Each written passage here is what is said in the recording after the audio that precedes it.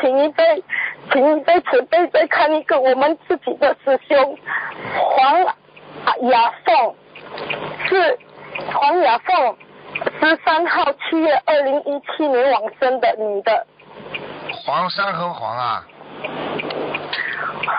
是黄颜色黄黄啊，第二个雅雅就是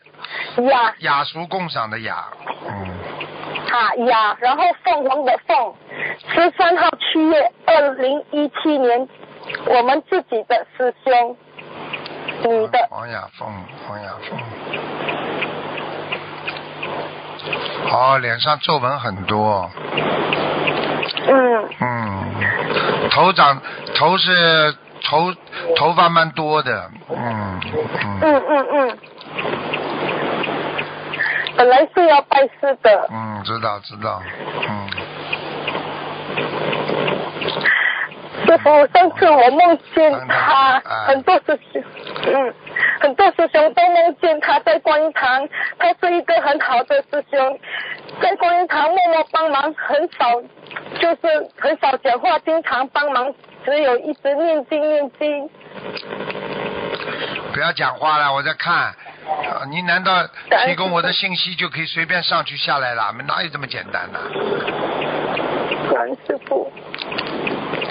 我在看他走掉的时候整个过程呢。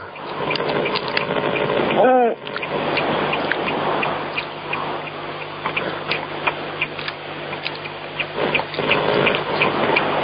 最后曾经到过天界，后来回到阿修罗，嗯现在在阿修罗要多少张小房子，师傅？两百二十。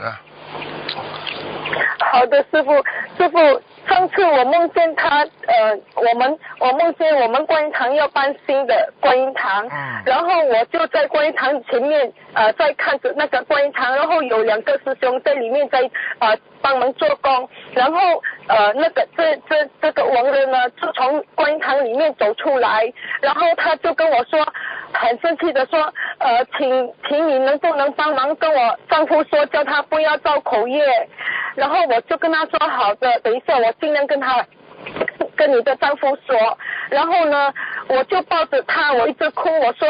呃，我很心痛，因为当他要往生的时候，我我我没有帮他能做到些什么，然后我问他好不好，他只是笑笑说好，但是他没有讲什么，最后他又走进去，阿修罗呀，嗯能好不啦？师傅，过后他走进去观音堂里面，然后意念当中我知道他是灵性，他已经往生，我就跟我里面的师兄讲说，都是你们晚上观音堂关这样暗，所以他在里面是不是有关系跟我们的观音堂呢？他回来呀，很正常的呀，魂魄回来呀，哦，这个很正常的，那没有关系跟观音堂。没关系的。他回来看观音堂，嗯，嗯。哦好了，你给好赶快给他念吧，念了还能再上去一点呢，这个人。好的，好的，师好，了好了，好的，师傅，好的，师傅嗯，感恩师傅，师傅辛苦了，师傅再见，感恩师傅。